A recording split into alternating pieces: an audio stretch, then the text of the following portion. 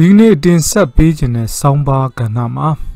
ကိုစိုးပိုင်ဦးရေးသားတဲ့တရားတွေပဲနင်းကန်လှိမ့်လိမ့်ပြီး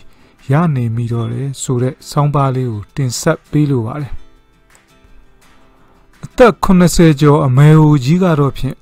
သူမမကျူးလွန်ခဲ့တဲ့အပြစ်တွေအတွက်ခေါင်းခံဖြည့်ရှင်းဖို့ကဘာကြီးကိုထွက်ရင်ဆိုင်တော့မယ်ဒီမှာကဖြင့်တက်ပြင်ထွက်မဲပေးယုံနဲ့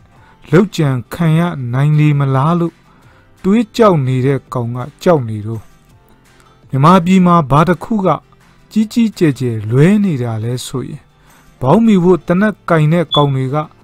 ထမိန်ဝတ်ပြီးပန်းပန်တဲ့မိမတယောက်စာလောက်တက်တီတွေရှိမနေကြတဲ့ကိစ္စပဲတက်တီဆိုလို့တနက်တလက်နဲ့ပြစ်ချင်ရရှောက်ပြစ်နေတာကိုထင်နေဦးမယ်တက်တီဆိုတာလှုပ်ရဲရင်ခံရဲတာ ကိုလှုပ်ရဲ့အပေါ်တာဝန်ယူမှုတာဝန်ခံမှုအပြစ်ရှိတာကိုဆိုလိုကြောင်းဒင်းတို့နားလေအောင်ဘယ်ဖျားများ ရှင်းပြနိုင်မလဲမသိဘူးတတိတွေကလွဲနေတယ်ရှိရမဲ့လူတွေစီမှာမရှိပဲရှိဖို့လိုအပ်တယ်လို့သိမထင်ရတဲ့သူစီမှာရဲတောက်ထင်းလင်းစွာရှိနေတယ်လွတ်တော်တွေကဘောင်းမီဝတ်တွေကိုလည်းကြည့်ဦးတိုင်းပြည်ကဖြင့်ဒင်းတို့မှွေခဲ့ရှုပ်ခဲ့ ဒုက္ခပေးခဲ့တာတွေရဲ့အကျိုးဆက်အဖြစ်တမိုင်းမှာမကြုံစဘူးထူးထူးကဲကဲတိတ်ခါကြခံနေရပြီကဘာကြီးတစ်ခုလုံးရဲ့လေးချိန်ကို့ပခုံးတစ်ခုတည်းအပေါ်လာတင်ခံလိုက်ရတယ်လို့ဖျားဘောင်းစုံနဲ့ပြပြားနေအောင်အထောင်းခံနေရပြီဒင်းတို့မှာတော့59စာလုံးအရေးဝက်ဝက်ခွဲဆွေးနွေးနေတော့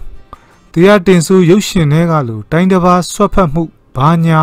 တော်လန်ရေးစကားတွေပြောနေတော့လူကြားကောင်းအောင်နိုင်ငံခြားဆွတ်ဖက်မှုဘာညာရှောက်អော်နေပေမဲ့တကယ်တကယ်သူတို့ရဲ့ပုံမှန်59ရည်ရွယ်ချက်ကဒေါန်ဆန်းစုကြည်ကိုမြန်မာနိုင်ငံရေးတဲ့ကဖြစ်တဲ့နီးနဲ့ပထုတ်ဖို့ဆိုတာလူတိုင်းသိနေတဲ့ကိစ္စဘာအပြစ်မှမကျူးလွန်ခဲ့ရတဲ့အမေဟူကဖြင့်တိုင်းပြည်ကိုကယ်ဖို့ကြိုးစားနေတယ်တစ်ချိန်တည်းမှာပဲ အပြစ်ပြောက်တော့ကျူးလွန်ထားတဲ့ဒင်းတို့ကအမေဟူကို တိုင်းပြည်ကဖယ်ဖို့ကြိုးစားနေတယ်ဒေဝရက်ဇက်တုတ်တစ်ခုကို2019ဘာရှင်အစ်စ်တစ်မျိုးနဲ့ live ပြန်ကြည့်နေရတယ်လို့ပဲတရားတွေပဲနင်းကန်လှိမ့်လှိမ့်ပြီးရနေမိတော့တယ်အကယ်၍ ICJ မှာဒေါန်ဆန်းစုကြည်အရေးနှိမ်ပြီးမြမအရေးကို မကာကွယ်ပေးနိုင်ခဲ့ဘူးဆိုရင်တပတ်အုပ်စုတွေကအ ဖွားကြီးလုံးမပူဆိုးကုန်ပြီးအဖွားကြီးအတုံးမကျလို့ဒီလိုဖြစ်တာဆိုပြီးဒေါသတကြီးရှုတ်ချဝေဖန်ကြမှာပဲဖြစ်ပါတယ်အကယ်၍ ICJ မှာဒေါန်ဆန်းစုကြည်အသာရလို့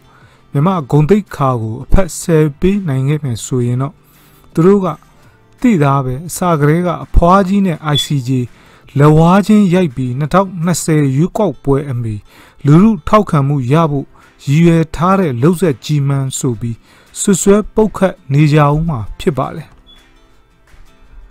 အခုတော့အဲ့ဒီအတိုင်းနှစ်ကြောင်းပေးရေးသားထားတဲ့ post အမျိုးအစားတွေသူတို့အုပ်စုတွေကြားအတော်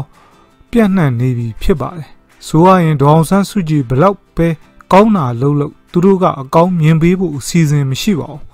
အမြဲတစေမကောင်းပြောအဆိုးမြင်ကန့်လက်တိုက် မိဖက်ပါတီ20တို့နဲ့စုပေါင်းကြီးညာချက်ထုတ်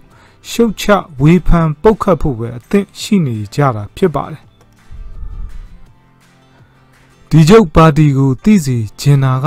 လက်ရှိတင်လို့ရင်ဆိုင်နေရတဲ့ရန်သူဟာလူဆိုးတွေမဟုတ်ဘူးလူမိုက်တွေမဟုတ်ဘူးအဲ့ဒီနှစ်ခုထက်အစများစွာဆိုးတဲ့လူရုပ်မာတွေပဲဖြစ်တယ်ဆိုတာပါပဲ ကြည့်ရှိသူအပေါင်းကိုထူးပဲကျေးဇူးတင်ရှိပါတယ်။နောက်လဲကောင်းတို့ရာရာဆောင်းပါးလေးတွေကိုဆက်လက်ပြီးတော့တင်ဆက်ပေးသွားပါဦးမယ်